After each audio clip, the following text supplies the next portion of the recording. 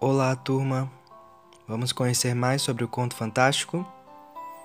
Atenção para os seguintes pontos. Bem, o primeiro ponto é assinando um acordo, e ele diz respeito a uma espécie de contrato literário que fazemos para ter uma boa experiência de leitura, por assim dizer. Bem, ele não vale somente para as histórias literárias, nem somente para o conto fantástico. Ele também pode ser utilizado em filmes, por exemplo. Quando assistimos um filme, nós não devemos ficar pensando: será que isso aconteceu? Será que esses personagens existem? Será que são reais? Porque isso acaba estragando a nossa experiência, não é? É preciso aceitar a proposta de narração. E o segundo ponto é o real e o absurdo.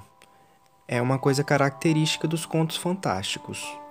É que no conto fantástico existe uma espécie de mistura do real com o que não é real.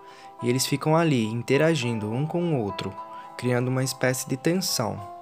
A gente viu isso no conto da Lígia, As Formigas.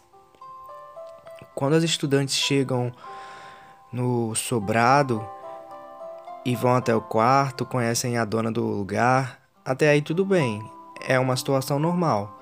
Mas quando as coisas estranhas começam a acontecer, é aí que está o aspecto fantástico. Nós não temos certeza do que está acontecendo, assim como a narradora, as personagens também não têm. Nós acompanhamos as dúvidas delas e vamos descobrindo tudo junto com elas.